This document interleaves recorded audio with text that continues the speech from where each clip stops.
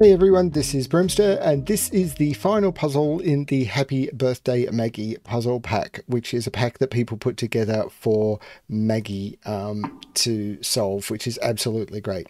Um, this is a triple tabs puzzle, um, and what I'm going to recommend for anyone solving a triple tabs puzzle is to go into the settings and turn on the outlines on elements. It makes the digits in the triple tabs a lot clearer to see. When I've been posting links to my own triple tabs puzzles, which are a constraint that Maggie and I came up with, um, we've been putting in the URL the um, the forced uh, put that on for the puzzle and I may do it in the link below, but it definitely makes the digits in the tabs easier to see. Um, so yeah, uh, thank you Rockrat Zero for uh, solve creating a puzzle with our constraint. Um, Maggie's favorite constraint is the outside constraint, which is you've seen a couple of in this pack. And the whole point of the triple tabs constraint was to basically move the outside constraint in.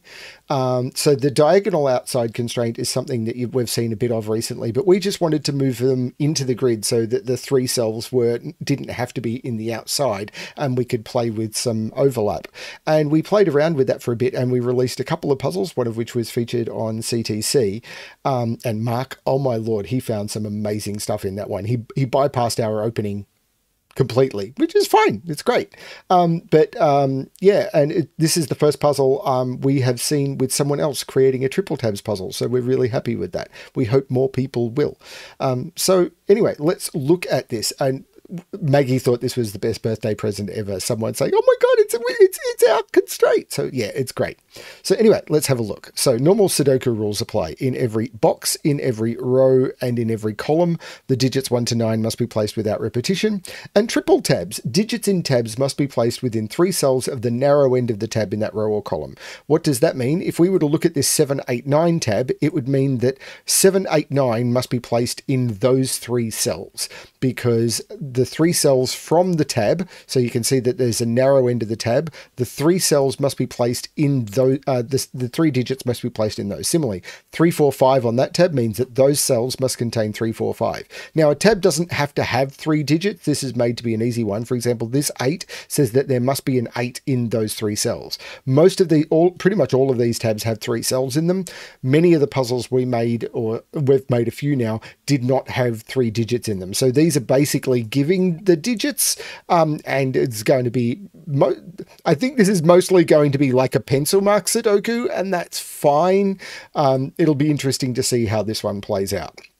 Um, but uh, yeah, um, you can do a lot with triple tabs if you if you're a little sneaky. We've learned. So uh, if you're a setter, play around with it. But meanwhile, I'm going to restart the puzzle to restart my timer. Let's give this a shot. So we know that these three cells are five, six, and seven. And we know that these are 7, 8, 9, but this can't be a 7. So the 7 is in one of those two. We know this can't be an 8 because the 8 has to be in one of those three cells. We know this is 2, 3, and 4. As I said, this is almost a pencil mark Sudoku, but that's okay. Um, these are 1, 3, and 5. Uh, these are 3, 4, and 5, but we know these are 4, 5, and 6. So there's no 3 there. This is 4, 5, 6. Um, the 3 has to be in one of those two, but the 2, 3, 4 looks down saying that can't be the 3 or 4. So that's the 5, that's the 4. I can take the 4 out of those. This isn't the 4 or the 5, this is the 3. Um, this is a 1, 2, 3 here, so this is a 1, 2 pair. Um, now this is five, six, seven uh, in here, but the five and the six is looking down, making this the seven. So this is the five, six. The five looks down, making this the six, and this the five. So far, this is fairly easy. The six and the seven look across at this six, seven, eight tab, making this the six, seven pair and that the eight. This is two, three, four, which means this can't be a three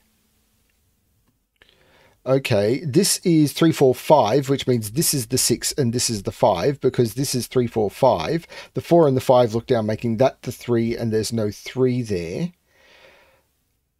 Okay, the 8 looks up, making that the 9, which makes that the 7 and that the 8. So this 8 clue is done. The 6, 7 looks up, making that the 5, taking the 5 out of here. This is a triple tabs, but it really does feel like a pencil mark puzzle. It's fine. I mean, if you're using a, I mean, I, I do, I do feel in some ways it's, it's a bit of a letdown, but it, um, Maggie loves classic Sudoku. Maggie absolutely adores classic Sudoku. So for this pack, this was perfect. Um, so this is a six, seven, eight triple. Normally, I would complain about that, but for this pack, it's perfect. So this was six, seven, eight, but the seven, eight looking across made this a six. Now, uh, the one, three, five, of course, makes that the two and that the one. Personally, I'm not a fan of this as a concept, but okay, the two, the three, four, five here means this can't be the three or the four. This is the two.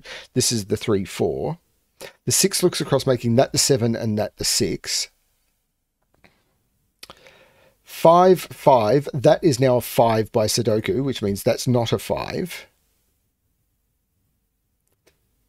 Oh, the five looks down here saying that's not the five, so that is the five.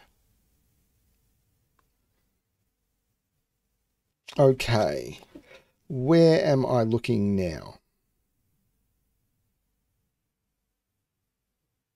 It's an interesting question, isn't it? One is in one of those two. Two, three, four.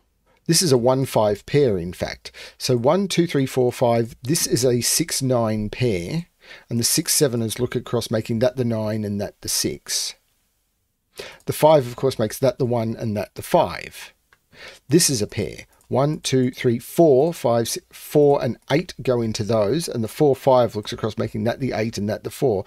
Placement of triple tabs is really, really tricky at times. This is a really good introduction to one of the concepts we loved playing with early on in triple tabs, which is when you have something like this where you can overlap triple tabs to place the um, to place a digit, like the three, four, five, the four, five, six, making restrictions and and all of these overlaps. With outside clues, you saw it in some of the earlier ones where if you've got outside clues with the same digit in a corner box, um, you can place a digit. This is a similar sort of thing, but you can do it anywhere in the grid because you've moved the clues inside.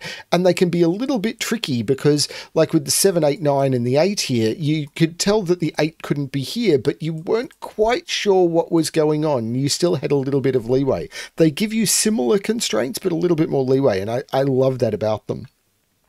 Um, we've really enjoyed playing with the triple tab constraint, I have to say. 8 is in one of these two because of the 8 looking down from this tab, so 8 can't be here and 8 can't be here, so this becomes an 8. I could have, yeah, there were ways of doing that. So this is a triple. 1, 2, 3, 4, 5, 1, 2, 9. Hmm.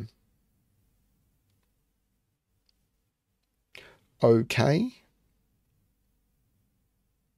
So where to look now? This is becoming a tricky scanning exercise. Maggie is so much better at basic Sudoku than I am. So where is 4 in box 4? 4 can't go in any of those, and the 3, 4 here means that's not a 4. So that's a 4. This is now a quadruple. One, well, 2 is in one of those two, because the 2 is knocking it out of those, which puts 2 in one of those two. Now, okay, so 2 being here, that's not a 2. 2 is up here. Don't think that's it. But anyway, one, two, three, four, five, six. These are these are from seven, eight, nine. Hmm, that's not enough, is it? I don't think that's enough. What is this quadruple? One, two, three, four, five, six, one, two, eight, nine. Well, that's not two. We already knew that. No. Hmm. Twixie. One is in one of those two.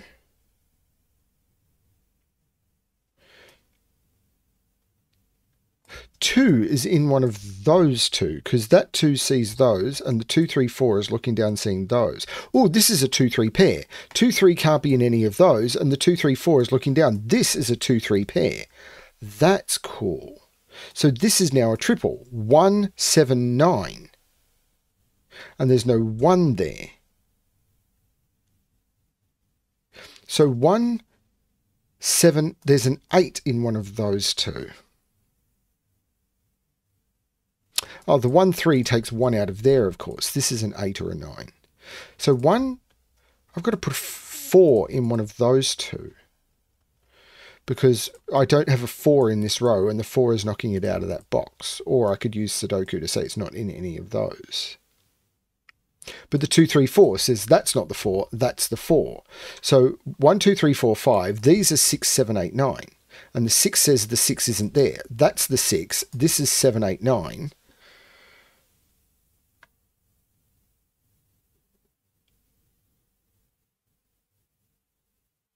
This is 7, 8, 9. This is now the 6 in this box. So this is 7 or 9. Hmm, I am missing something. Have I done all the tab clues? 135, 345, 456, 123, 789, got the 8, got the 234, got the 567. Okay, so it's just me missing something.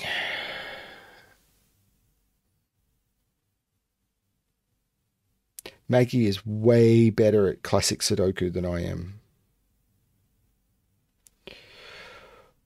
One, two, three, four, five. I've got to put a six in one of those two. So that is a six, and this is one, seven, nine, and it's not seven or nine. So this is the one. So one comes out of here. This is the one. This is a seven, nine pair. One takes one out of there. Oh, the 4 makes that the 3 and that the 4, which makes that the 2 and that the 3. The 2 makes that the 9 and takes 9 out of both of those.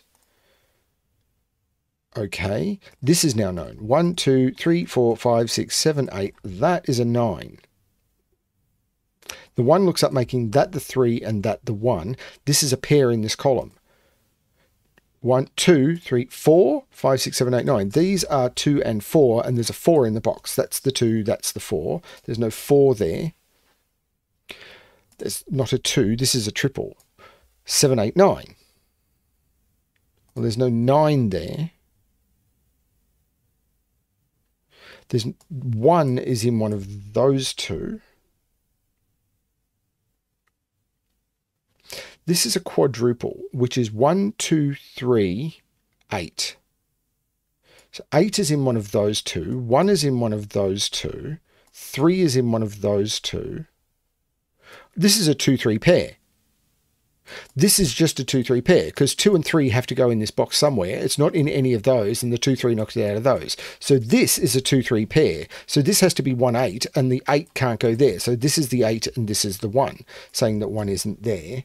8 isn't there, but the 8 makes that the 7 and that the 8, which makes that the 9. This isn't 8 or 9, that's the 7, which makes that the 9 and that the 8. The 9 looks down, making that the 7 and that the 9. That was what I'd missed, that 2 3 pair. Okay, the 8 takes 8 out of there. The 2 3 pair takes 2 out of there. I've lost my flow while doing an explanation. That happens a lot.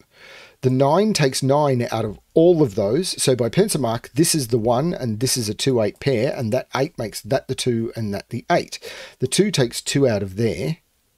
The 2 makes that the 3 and that the 2, which makes that the 3, which makes that the 4, which makes that the 2. The 6 looks up, making that the 7 and that the 6. The 7 looks down, making that the 8 and taking 8 out of there. This is a 7, 9, and I'll use the 9 to make that the 7 and that the 9. This is beautiful. This is a 2-3 pair. So this is a 1-7 pair, and I'll use the 7 to make that the 1 and that the 7. The 1 looks down, making that the 2 and that the 1. The 2 looks up, making that the 3 and that the 2. Still can't resolve the 4-5, but I'm close. I need to put a 3 in here. No, th though the 3 is in one of those two. That 3 looks up saying not there. That's the 3.